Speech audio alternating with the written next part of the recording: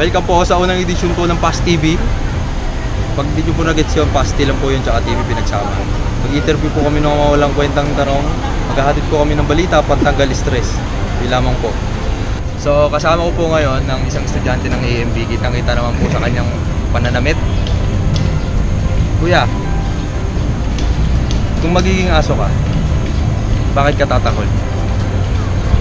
para malaman ng amo ko na gutom na ako. Salamat, salamat mo.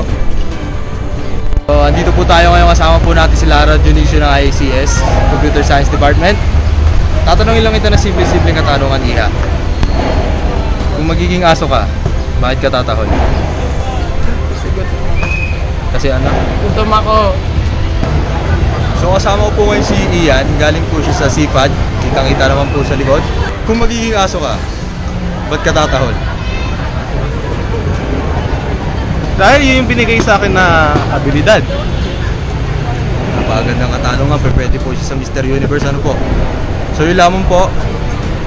Maraming salamat po. Maraming salamat. Follow niyo po ako sa Twitter at Kuya Kikoy. Instagram at Ian Belza. Snapchat Ian Belza. Maraming salamat. Tatanong lang po tayo ngayon si Jolly Madamba. Galing po siya sa Spain. Ah, kuya.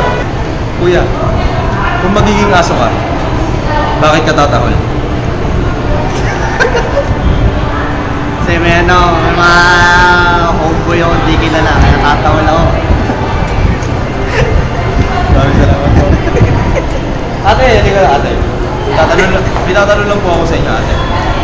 Kung magiging aso ka, bakit ka? Yung magiging aso ko. Oo. Oh, hindi, ibahin natin. Kung magiging pusa ka, ba't ka magmameow? Ang dalawas ko.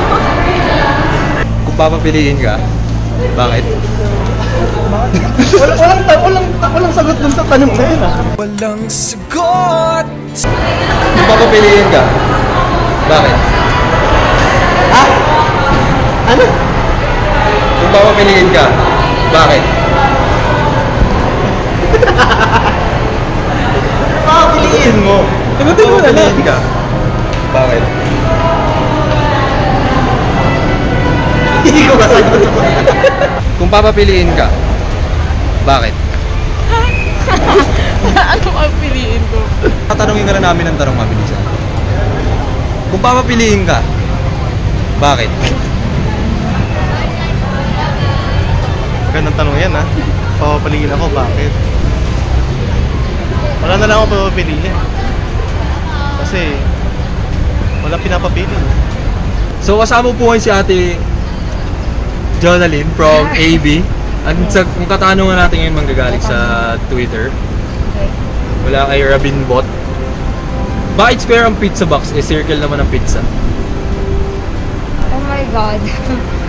Tapos, um, no specific reason since it's a pizza box. Parang ang naisip ko kasi doon, since, ay, hindi ko kaya, wait lang, mo si Chloe na lang. So uh, ngayon kasama ko naman po ngayon si Kat from. Ang katanungan ulit natin mula sa Twitter kay Robin Bot. Bakit square ang pizza box? Eh circle ang pizza. Nag-iisip ako. Advertising strategy para surprise yung circle. Ata. So ngayon ko lang po nalaman yun, pwede rin palang triangle para surprise. Kasama ko po si Shara from AB. Ang katanungan po ulit natin kung gagaling po sa Twitter. Kay Chen Marano. Bakit hindi sinususpend ang pasok pag mainit? Kasama ko po si Chloe from AB. Ang katanungan ko po sa iyo ate ay mula din po sa Twitter. Bakit hindi sinususpend ang pasok pag mainit? Di ba? Di ba kayo? Kasi may aircon sa AV. Wala pong aircon sa biyahe ate. Perfect! Kasi, Um, So kasama po ngayon si Sophia, dati siyang ABN ngayon from Assumption na siya. But bakit hindi sinususpend ang pasok kapag mainit? it's not as harmful as pag umuulan. Kasi mas destructive yung ulan. Pero pwede ka magka-cancer sa init, sa ulan hindi. Pero pwede ka ka magpayong pag mainit. Thank you po!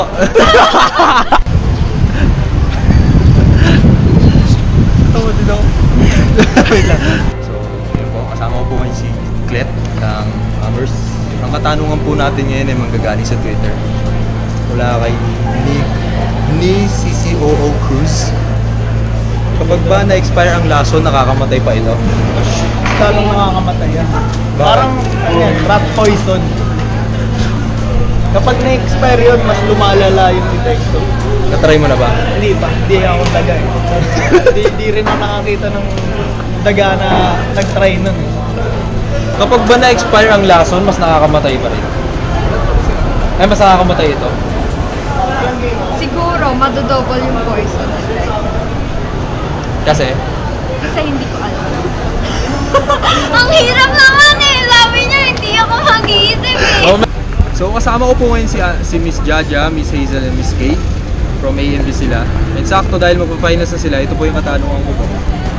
Mula kay Christian Pagdonsolan, kung finals mo na bukas, anong series ang papanoorin mo mamaya?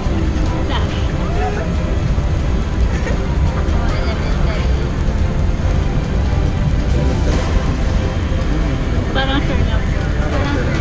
Go. Flash. Flash. So guys, sama ko si Pat from Counter Shop. Ang tanong natin muli mula sa Twitter, mula kay Christian Pagdonsolan, What the heck? Baka lang daw. kung finals mo ngayon natin, anong series papanoorin mo mamaya? Ah, 13 Reasons Why. Why? Kasi anytime mag-unleash na ako. From Gianna Ayan. Kung gusto mo siya, ba't di ka niya gusto? Kasi masyado daw ako nag-e-effort. Tsaka, he sees me as a friend. Ganon. Babae pala na friends. Ah, nakakainis ka. Pinasa mo. Makakarating. Makakarating. Ano? Kung gusto mo siya, ba't di ka niya gusto? Kasi may iba na siyang mahal. May message ka ba para sa kanya? Wala, bahala sa buhay niya. Kung gusto mo siya, ba't di ka niya gusto? Wait. Bigat naman. gusto mo siya, ba't di ka niya gusto? Kasi mo gusto siyang iba. Hindi ka worth. Hindi naman ako sure di niya ako gusto, di ba? Oh! Kayo po? Baka nga hindi ko na nga talaga. Huwag na pilitin. Nagdaan na naman po ang isang hapon na wala kayo natutunan. Muli, ang wala. Walang kwentang katahanungan ni Pasti. Past TV. Subscribe and like. That's all.